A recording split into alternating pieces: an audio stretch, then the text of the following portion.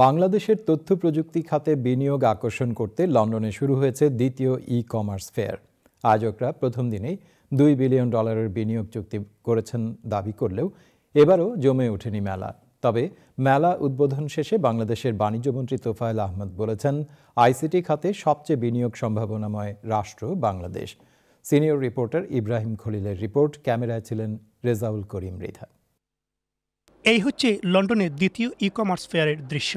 East লন্ডনের ওয়াটারলিলি হলে পঞ্চাশটি স্টল থাকলেও অধিকাংশ স্টলে নেই কোনো লোক সমাগম এমনকি সেমিনার চলাকালীন সময়ে উপস্থিতি ছিল একেবারেই নগণ্য।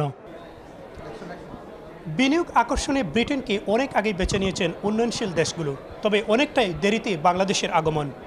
তবে আয়োজকদের দাবি এর মাধ্যমে তারা নতুন এক বাংলাদেশকে পরিচয় করিয়ে দিতে সক্ষম হয়েছেন। মূলত আমাদের উদ্দেশ্যটা ছিল এই মেলার যে আমাদের বাংলাদেশি প্রোডাক্টগুলোকে বাংলাদেশি কোম্পানিগুলোকে আমরা নিয়ে এসে শোকেজিং করব। কম্পিউটার জগৎ আইসিটি মন্ত্রণালয় এবং হাইটেক পার্ক অথরিটির যৌথ আয়োজনে এই মেলায় উদ্বোধন করেন বাংলাদেশ সরকারের বাণিজ্য মন্ত্রী তোফায়েল আহমেদ। তিনি বাংলাদেশকে আইসিটি খাতের সবচেয়ে বিনিয়োগ সম্ভাবনাময় রাষ্ট্র হিসাবে অভিহিত করেন। আইসিটি সেক্টরে আমরা যে অগ্রগতি লাভ করেছি এই মেলা মধ্যে দিয়ে তা প্রমাণিত হয়েছে।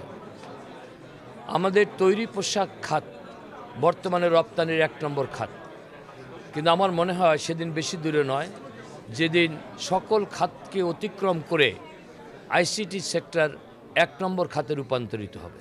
পরে দেশের প্রথম হাইটেক পার্কে দুই বিলিয়ন ডলারের বিনিয়োগ চুক্তি স্বাক্ষর করে চারটি কোম্পানি। সিমার্ক পিএলসি টেকশেড পেইজা ও টেলিকম এশিয়া এ খাতে বিনিয়োগ চুক্তি স্বাক্ষর করে সিমার্কের এক্সিকিউটিভ ডাইরেক্টর হামিদা নাহিদ ইকবাল চুক্তি শেষে জানালেন তার অনুভূতি Oh, definitely. I think that we've got great potential in Bangladesh and we're not utilising the potential in the IT sector in Bangladesh. And I think the students of Bangladesh aren't finding anywhere to study or to use their specialities. And I think it's a great opportunity for us. এর আগে বৃহস্পতিবার the crystal বেনুতে Britain প্রবাসী শীর্ষ ব্যবসায়ী মোলদার রাজনীতিবিদ এবং প্রযুক্তি খাতের বিশেষজ্ঞদের নিয়ে আয়োজন করা হয় ভিআইপি ডিনার। এতে দেশের তথ্য প্রযুক্তি খাতে বিনিয়োগ সম্ভাবনা নিয়ে প্রেজেন্টেশন উপস্থাপন করেন আইসিটি মন্ত্রী জুনায়েদ আহমেদ পলক। হাইটেক এবং সফটওয়্যার সফটওয়্যার টেকনোলজি পার্কে আমাদের যে বিদেশে প্রবাসী ভাই বোনেরা যারা আইটি প্রফেশনে আছে বা আইটি বিজনেসে আছে তাদেরকেও আমরা আমন্ত্রণ জানাচ্ছি দেশে বিনিয়োগ করার জন্য। বাংলাদেশ একটি নিরাপদ ও বিনিয়োগ বান্ধব রাষ্ট্র উল্লেখ করে তোফাইল আহমেদ প্রবাসীদের দেশে বিনিয়োগের আহ্বান জানান। চ্যানেলসের এক প্রশ্নের জবাবে বাংলাদেশের যুক্তরাষ্ট্রের সতর্কতা জারিকে বাড়াবাড়ি বলে মন্তব্য করেন মন্ত্রী। আমি মনে করি যে কোনো কোনো বিদেশি দূতাবাসের বাড়াবাড়ি আছে। বাংলাদেশে বিএনপির শাসন আমলে ব্রিটিশ হাই কমিশনারকে বোমা নিক্ষেপ করেছে। তখনও রেড অ্যালার্ট জারি করে নেই।